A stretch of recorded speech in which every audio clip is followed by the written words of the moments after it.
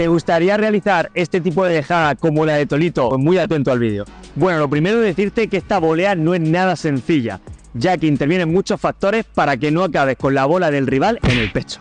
Entender, por ejemplo, que el tipo de moqueta interviene mucho en este tipo de jugadas, ya que un suelo lento como este puede hacer que la bola caiga y se quede completamente muerta. Si quieres realizar este tipo de jugadas, lo que sí que te recomiendo es que no lo hagas nunca cuando estés subiendo a la red, sino más bien cuando te encuentres en una posición favorable en la que con una primera volea, por ejemplo, consigas mandar al rival atrás y cuando tenga el culo pegado al cristal, es en ese momento cuando podemos intentar realizar la dejada. Te voy a dejar tres consejos técnicos para que puedas jugarla en tu partido.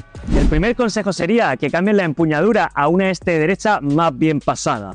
El segundo consejo sería que te intentes dejar siempre la bola bien en el lado izquierdo para los jugadores que sois diestros para poder entrarle bien por el lado y poder raspar al mismo tiempo la bola por abajo. Y de este modo conseguir darle mayor efecto. Y el tercer consejo sería acabar el golpe bien delante y hacia el lado contrario del golpeo para conseguir quitarle todo el peso a la bola y dejarla completamente muerta.